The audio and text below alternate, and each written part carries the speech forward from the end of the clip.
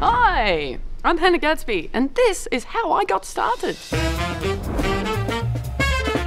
So I don't think I could have said that I was a comedian until I had performed in front of my mother and survived. And this is a story about the first time I performed in front of my mum and barely survived. So it was in Hobart, which is the capital of Tasmania where I'm from. And it was the first time I'd performed in front of mum, and I'd had about five gigs under my belt till then. Uh, and I'd travelled back to Tasmania. At that stage of my life, I was no fixed address, which I think it's a technical term for homeless. And my mum came down from Launceston, and it's a couple of hours away from Hobart, and it was a line-up gig, so there was about six, seven other people on the bill, and I thought, well, hopefully she'll blink and miss me. I was only supposed to do a 10-minute spot, which meant that I had five minutes that I had to stretch, so I just thought, I'll talk slower. And my mum arrived, and I saw her arrive. So I sort of went to meet her to go sit down and shut up, which was her parenting style. So I was just sort of folding it back in. And she'd had a couple of couple of drinks, a couple of sherbets uh, before coming up to the, the venue.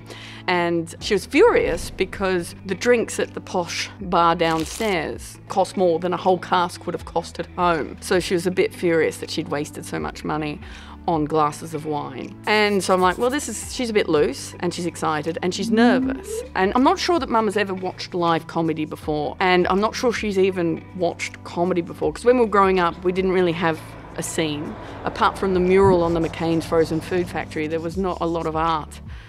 Uh, around town. So, if ever stand up comedy was on television, mum would switch it off because, generally speaking, stand up comedy had all the ingredients of mum's prime dislikes men who think they're funny and men who shout. So, anytime that stand up would come on television, mum would just go, well, they think they're funny, I've got news for them, and just switch the, the channel over. So that was my childhood comedy uh, experience. So when mum arrived at the, the live venue, I'm like, I'm not sure mum knows how to behave in a crowd because she's known to heckle the television. And I'm like, this doesn't bode well. So I was afraid.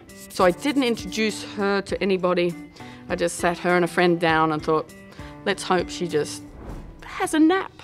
But then the, the, gig gets started. The first person on stage gets up, and he's a friend of mine, uh, Josh, a young comic from Australia, also a librarian. So he was doing some gear about being a librarian, and he starts a song, and it begins, funnily enough, with shh. It's a library joke. And I've got a good response from the audience. They're like, hi, we get it, a library joke. Shh. But you don't shush my mum. So she took it personally. And just as the ripple of laughter died down, my mum's just said, well, don't you shush me, which threw Josh a little bit. And then you heard people sort of laughing, going, who's the crazy lady? So there's a bit of tension in the room. And then my mum just goes, he'd be taller if he sat down. So everyone was on high alert because in the live room, everyone's like, there is a crazy person in the crowd that is funnier than the comedians. And no one knew it was my mum and everyone was at the back and comedians are watching. P- comedians don't normally watch comedy because we're bored, but if there's a train wreck about to happen, we're all like, cool. So I witnessed that happening at the back of the room, but people at the back of the room didn't know that the train wreck was my mum's train. Doot, doot. So then the next person got up, uh, and Mick, he was a, he's a lovely guy, lovely gentle guy. He did uh, stream of consciousness stuff, so surreal sort of uh, narratives. And for some reason, his story started with him in a mime kayak. So he's mime kayaking and talking about Starbucks, classic. And Hobart didn't have a Starbucks at the time, so Hobart didn't want a Starbucks, still doesn't have a Starbucks, keep it real, Hobart. And the audience heard the word Starbucks and like, oh no, yeah, we don't want Starbucks. But my mum had no idea what Starbucks was, and I knew that. So she's like, on, what's Starbucks? And so Mick stopped mime kayaking and he's like, clearly you're heckling me. This is a facetious question because everyone knows what Starbucks is. And he's like, yeah. And then he kept mime kayaking. But mum did not know what Starbucks was. So she's like, no, what's Starbucks?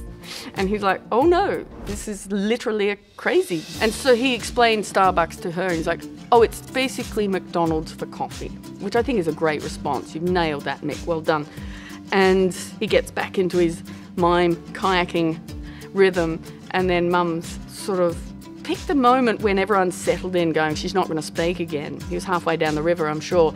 And she said, I thought it was a movie. And he's like, no. And just gingerly keeps kayaking like he's not sure what to do. Everyone's laughing, but not at him. They're just laughing despite him. Like, just laughing. Mum, Mum is being the funniest person in the room, which is horrific for me standing at the back of the room. And then, so he gradually gets the rhythm back of his story, and then Mum then lands the killer punch and goes, Oh no, that's Star Wars, isn't it? And Mick just left. Like he knew he'd lost. Like he said, I'm not getting this back. You've won the room. Well done, lady. And got off. And everyone's laughing, going, This is fun. Except me. So they introduced me. The next comedian on stage is Hannah Gadsby. And I'm like, I'm getting away with this. They don't know it's my mum. Except when they said the next comedian is Hannah Gadsby, mum stood up and said, That's my daughter. And so that was bad.